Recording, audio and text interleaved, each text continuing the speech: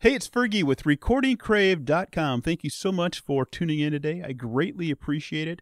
Hey, in this video, I want to talk to you guys today about removing an unwanted noise from a mix that you have or a track that you have. What I'm going to use to remove this unwanted noise from this track is iZotope's RX7 noise removal uh, program. And I've used this for several things, mostly in Pro Tools, and that's getting rid of uh, pops and clicks. But I've never used it for what I'm about to show you now, and I just figured this out today, actually. I've had this program probably a year and a half or maybe just a little bit longer, and I've never used it for the full weight of what it can do.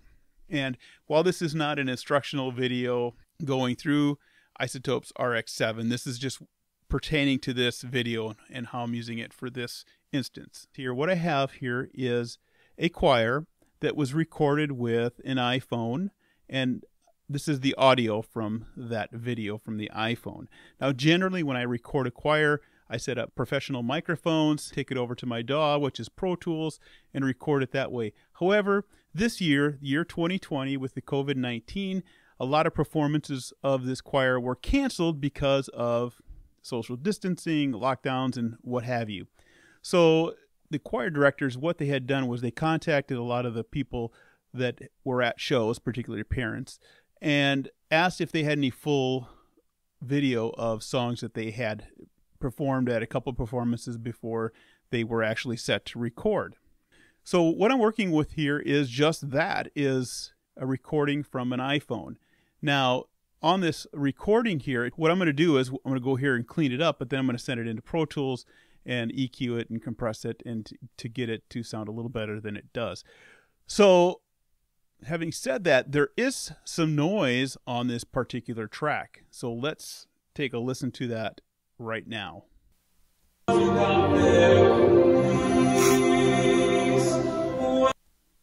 Right there. So the person uh, with the camera was sniffing or or uh, breathing or something there. So we want to move that and get it out of the performance.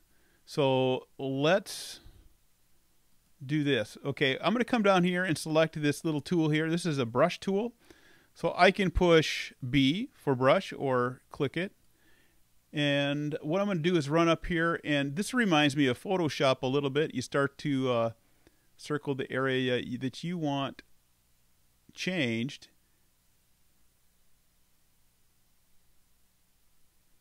and we'll try that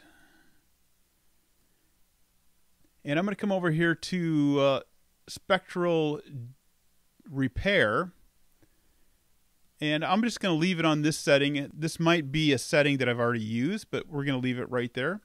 And I'm going to click render, and if it doesn't work, we can control Z it and, and start over. So I'm going to click render and you can see the spectrogram changed there. Let me click T, that'll get me out of there. So now let's listen to it.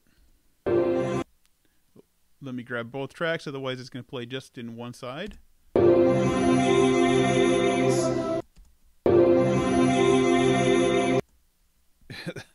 That's pretty impressive. That's very cool. I was so stunned. I when I started thinking about cleaning up this track with this, I had no idea it would work that well. So let me put it back and let me play it. And let me uh, redo what we did.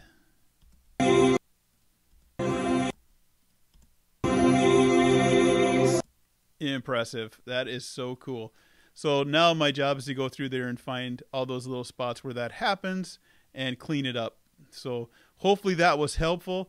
And this really it helps to have the spectrogram in, where it does show like this is something else. This is not. So it was when he hit the S, it it pops through there. But usually when another uh, different noise enters the sound, then you'll see something like that. So anyway, I hope that was helpful. Again, maybe sometime I'll do a tutorial on iZotope RX7 by itself, but uh, I think I would have to really study it as I don't use it a ton. But I am having a huge learning uh, experience, which in finding out some massively cool things that this thing does. So thanks for watching. I would love to have you subscribe, and we will see you in another video.